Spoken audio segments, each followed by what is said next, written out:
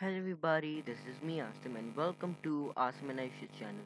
Today we're going to be doing another video about physics. This is kinematics chapter number 2 and this is going to be part 3.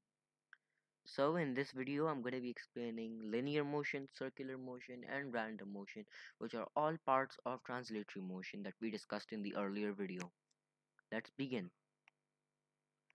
So first I'm going to explain the types of motion. There's linear motion, the motion of a body along a straight line is also known as linear motion, that's its definition. There's circular motion, uh, the motion of an object in a circular path is known as circular motion.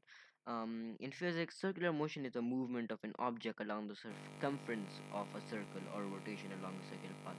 It can be uniform with constant angular rate of rotation and constant speed, or it can be non-uniform with a, a, changing rate of uh, rotation. There's random motion, uh, the disordered or irregular motion of an object is called random motion like basically just random motion. So first I'm gonna be explaining uh, motion. The motion of a body in which all its particles move around a fixed point is called uh, rotatory motion. Um, or uh, the motion of a body uh, about its axis is also called rotatory motion. Um, for example uh, motion of a top, uh, motion of a ceiling fan, or motion of a steering wheel.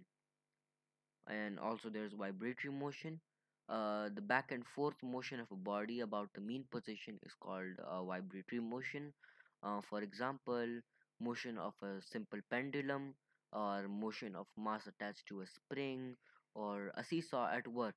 Thank you for watching. Be sure to like and subscribe and comment down below if you found this video helpful. Bye.